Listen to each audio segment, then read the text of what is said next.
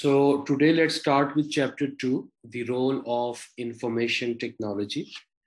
Uh, as we already have seen in MA1, as well as in the first chapter, that in management accounting,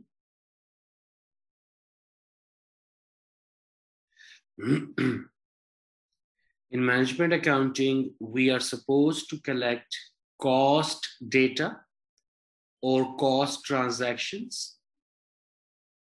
And then we are going to report it to the managers so hmm. that managers can use it for planning, controlling, and decision making. Now, basically, whatever we have seen in MA1, we are supposed to do all this process manually.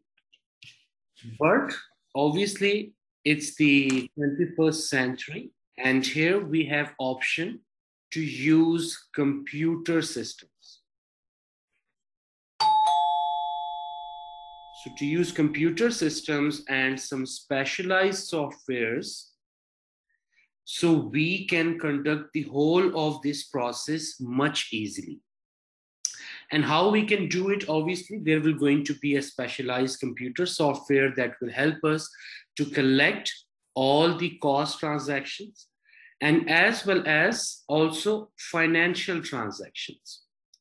Basically, financial transaction is a part of financial reporting and mostly we are going to do or we are going to report it to the external stakeholders. But sometime our managers will also be interested in the financial data as well.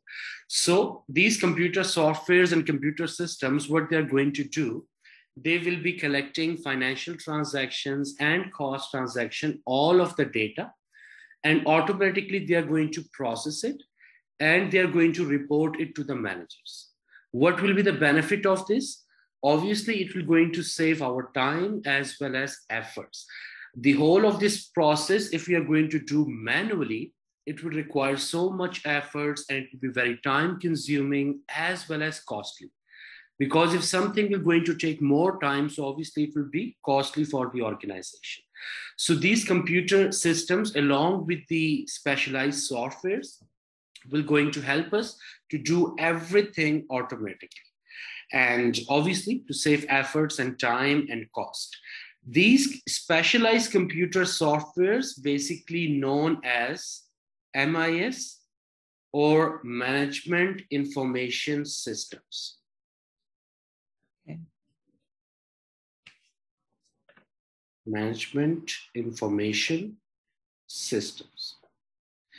Now, in, in real life, there are different type of management information systems that we can use. For example, uh, most commonly term that we use are ERPs.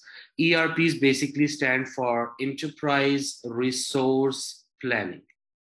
So these are the specialized softwares that organizations will going to use to um, provide meaningful information and report to their managers and uh, there are different type of erps one is very famous for example sap. Second there is one mm-hmm. more with the name of oracle financials and so on. These are just the example but there are many more than this. Um, i'm sure if you ever visited any supermarket for example so what happens at the supermarket that when you are going to buy some stuff and you go to the counter and uh, you want to pay something. So before paying what they're going to do they will going to take the product and they're going to use a barcode reader to read the data. What we called basically that EPOS yes. Electronic point of sale. Now what that barcode reader basically do that at the moment that when that person will going to move that barcode reader over the product, it will going to collect the data. And then in different areas of the software, they will going to update that data. For example, first of all, it will going to record that it's a cash sale. At the same time, it will also going to record the method of payment. Mm-hmm. After that, it will also going to update the inventory record that we have sold this item and they will reduce the inventory and so on. So just by one um, barcode click or barcode reader click, they will going to do all these transactions. So when I'm saying cash sale, it will also going to update cash T account and sales T account, record the method of payment, inventory, date, time, all of this data will automatically going to be recorded. So obviously it will going to save a lot of time. So EPOS, basically, this is one method of inputting the data into our MIS system. So this is one method of input. And what will be the output of this MIS system? The reports that we will going to produce for the managers. Now, what type of reports? It depends from managers to manager and organization to organization. Clear with this overview? Uh, yes, sir. Any question? No, sir. All right.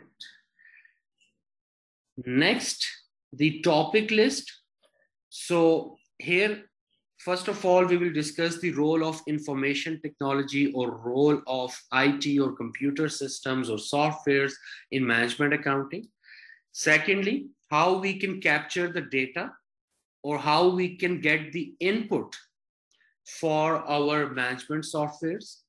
Second, how we can store that data, what options we have. Simple, as simple as that. For example, hard drives, we can use to store data and so many other methods. Then output, what type of output we can produce through the help of these softwares and ultimately the MIS.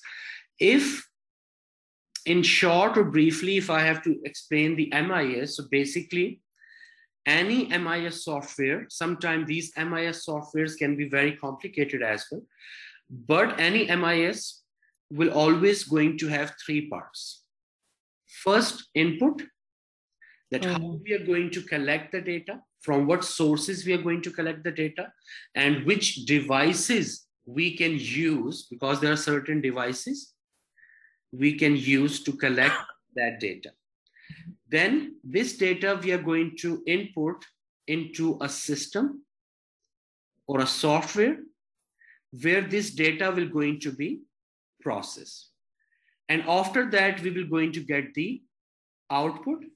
Obviously, output will be the reports as required by the managers for planning, controlling, and decision making. What are these devices? How it can process it, and what are the outputs? So these we will going to discuss throughout this chapter. Clear with this topic list? Yes, sir. Okay. Next, Role of information technology, computers are widely used for data processing because they have certain advantages over humans. Now, what are the benefits of using computer system? First of all, speed.